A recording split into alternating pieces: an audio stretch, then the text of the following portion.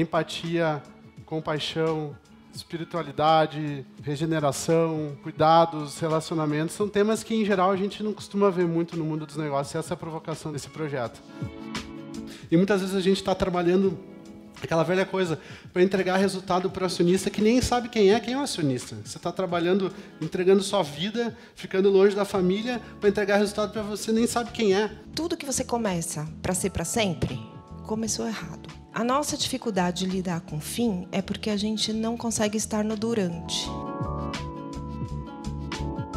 É, o capitalismo, na verdade, a gente tem que reconhecer para assim que ele, ele tem uma capacidade de maximizar os ativos, maximizar a riqueza de uma forma sem precedentes na história. Por quê? Ele tem um mérito, né? O que a gente precisa fazer não é mudar esse racional psíquico da individualização do mérito, talvez, mas é ressignificar o que é o sucesso. O conceito de regeneração começou a crescer na minha cabeça como fosse um meme. Me regenerar. Regenerar como, como um propósito, como, como uma força de de dimensões e oportunidades infinitas. Há 500 anos o capitalismo começou a se desenvolver e nós abrimos mão do sonho. E hoje nós estamos com muita dificuldade de simular o futuro próximo.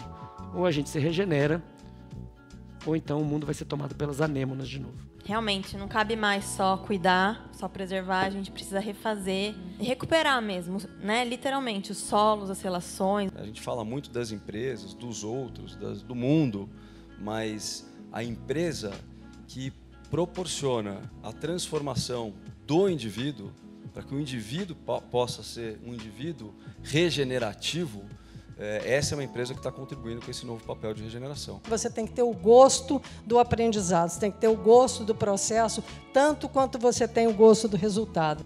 Tem uma pesquisa que foi feita pela Gallup com 23 milhões de pessoas e a pesquisa aponta que as pessoas estão insatisfeitas por conta do tipo de relacionamento que elas têm. Elas não se sentem ouvidas, elas não se sentem reconhecidas.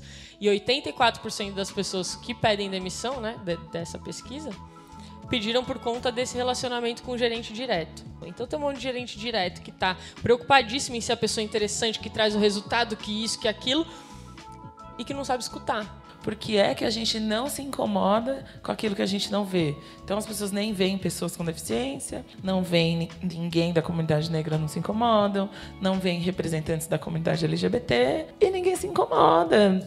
Cada um vive na sua bolha. A gente vê mães uh, atacando para defender. Eu vou então fazer tudo aqui dentro de casa para você aprender que o mundo é duro lá fora quando o caminho tinha que ser completamente o oposto. E a gente aprendeu o que sobre pessoas com deficiência? Quando você era criança e você viu uma pessoa com deficiência passar, e o papai disse assim: é uma pessoa como todas as outras que tem uma limitação física, sensorial, intelectual. Não foi isso, né?